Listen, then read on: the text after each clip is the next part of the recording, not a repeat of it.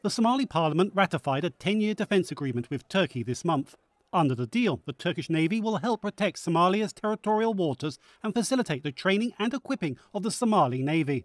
With Turkey already having a military base in Somalia, naval analysts say the deal is another step in projecting Turkish influence. This will provide Turkey an opportunity to increase its influence in the Horn of Africa because all those external countries, Gulf countries, uh, the Western countries, even Japan has a base in Djibouti. So they are all vying to increase their involvement in the region, especially for economic purposes. So this is, a, this is an opportunity for Turkey as well.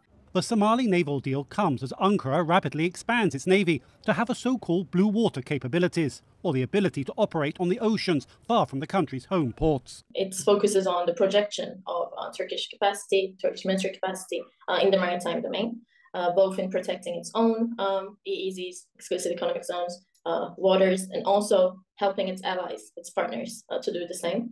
And as you know, like Somalia, for example, has been fighting a increasing, um, actually, threat of like piracy. Turkey's deepening military ties with Somalia come as the Horn of Africa nation faces ongoing tensions with its neighbour Ethiopia. But analysts say Ankara is well placed to contain any fallout, given its good ties with Ethiopia uh, military cooperation, personal cooperation, and personal relation between the, between leaders. I think uh, I think the relations are pretty good, pretty good, pretty good. I mean, uh, because in the region, everybody seeks uh, seeks for uh, everybody looks for a sort of security cooperation, and it's same for Ethiopia.